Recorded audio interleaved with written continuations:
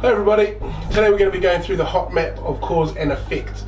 This hot map is used to explain the causes or consequences of an event uh, or of a thing uh, and we'll go through it bit by bit and explain how it works.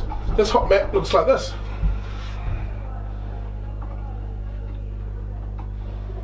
Alright, let's get into it. Okay, now we have our hot map drawn up. Uh, we're going to go through, we're going to use an example. Um, now in, in the middle here, so we put in our content. So we can put absolutely anything that we want. Okay, so we could put in a picture, okay, it could be um, a, a word, it could be an article, okay, it could be any sort of topic, could be any sort of content. One really uh, useful one, I've used it for um, in PE, is for role models. So we'll put role models in the middle here and we'll discuss how their behaviour um, and how that affects uh, other things that go on. So, yeah, and what causes that behaviour, and then the effects of that behaviour. So today in particular, we're going to be looking at the concept of overload. So we're going to be over here writing down um, the causes of overload and then the effects of overload on this side. Okay, so why do we overload? Okay, usually there are three um, or four reasons why we why we overload. Okay, and the first one that we're going to write down is because we decrease our rest. Okay, the next one um, in the gym when we are going to reach overload is that we increase our uh, weight or resistance. Okay, another thing we do to reach overload is to increase our reps. Okay, so one of the possible effects of um, uh, reaching overload, decreasing rest, increasing weight, or increasing reps is hypertrophy. Okay, another one is that we increase our muscular endurance. And another uh, effect is that we increase our strength. Cool. So, now we're going to go through and explain the because. You know, why does this happen? So, why do we decrease our rest? Um, and the whole reason is to get around the whole ATP thing. So our ATP PC doesn't have time to recover. Okay, when we um, increase our reps, um, then we are putting more strain on the muscles uh, and lactic acid build up. Okay, and when we are increasing our weight, we're putting more stress um, on our central nervous system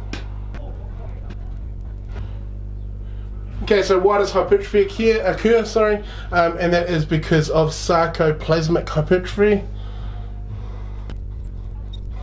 Okay, why does muscular endurance occur, an increase in muscular endurance? Um, this is because of high reps. Okay, and muscular strength occurs because again of that central nervous system so now we've filled out our hot map, um, we need to come up with an overall generalization and then use this topic or this, this content to back it up.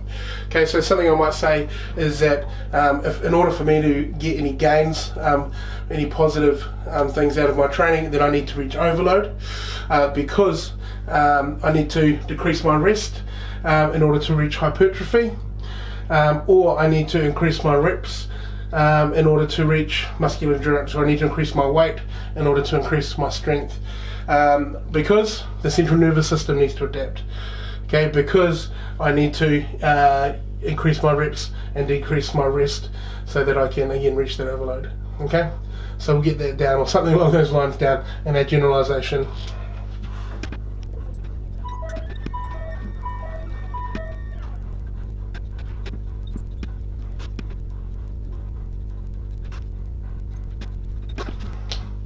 So my example there, so I require overload in order to improve because, because my body will not adapt unless put under stress, such as the central nervous system, for strength.